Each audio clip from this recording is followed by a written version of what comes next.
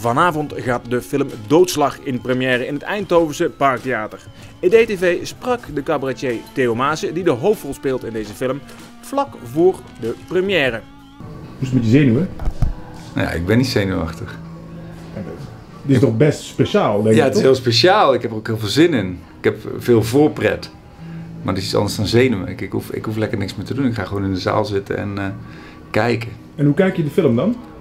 Nou, nou ja, het is leuk om hem collectief te kijken met een paar honderd man erbij. Dan voel je ook wel een beetje hoe, hoe het loopt en hoe het gaat en hoe de concentratie is. Het is natuurlijk anders dan bij cabaret. Het is niet dat, mensen, dat je aan de lach hoort of mensen het leuk vinden, maar dat voel je wel.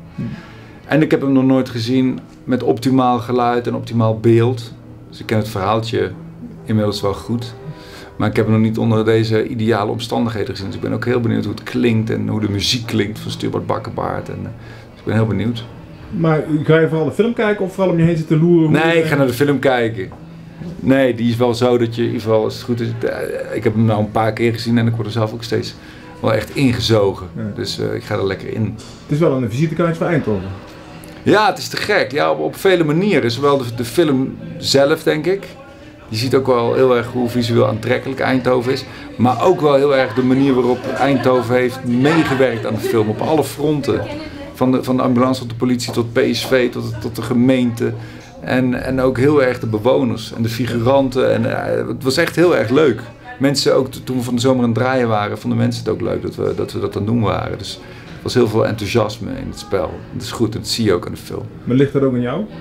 Eh, nou, weet ik niet. Misschien wel dat ik een soort goodwill heb of Ja. dat mensen dat, dat, dat het daar wel mee te maken heeft. Maar eh, ja, het was in ieder geval wel heel erg leuk.